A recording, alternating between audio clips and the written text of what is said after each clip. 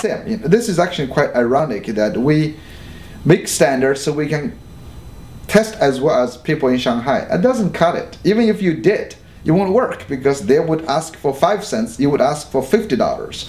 That, that you can't do it. So that, that's a great and a simple fact. So American education has to teach something different. And by teaching something different, you avoid this head-on conflict. You avoid competing for the low-paying wages. What do you lead the world into actually much more innovative thinking? So that's really number one. Number two, this global competitiveness has to do with globalization actually opened the market. It's not about trying to divide the same pizza. We are remaking different types of pizza, maybe making donuts, making different things. It, it's, it's very different. It's that we have to recreate jobs, recreate industries. is not to it's not a zero-sum game. Right now, the global competitiveness fall into the trap of thinking it's a zero-sum game. That the five jobs, if they move to China, we're dead. So we got to keep the five jobs here.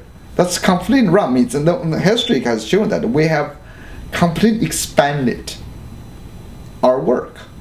I mean, the, the, the, if you look at actually the industry changes, it's, it's shocking how we have to remake. Main industry didn't exist, now they exist because we have innovators and the creators. So we need a lot more entrepreneurs and creative people who will actually invent jobs, not trying to defend the jobs that should go to other places. You know, and the third part of the global competitiveness is that when other countries move along the value chain, they are going to become more middle class. They're going to open the market.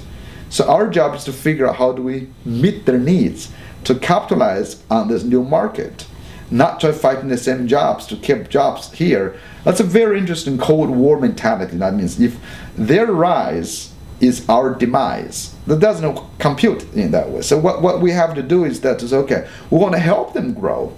Therefore we can grow, but we don't grow in the same area. We would market our ingenu I mean our ingenuity, creativity in a different way. So that's why, you know, global competitiveness for me is actually has to be a global citizenship or global entrepreneurs. You understand what others need, you understand what you have, you go meet the needs and you grow together. You make the pie larger. You try to not try to defend yourself. I think the current thinking of standards, the current thinking of global competitiveness freezes us actually in the 19th century.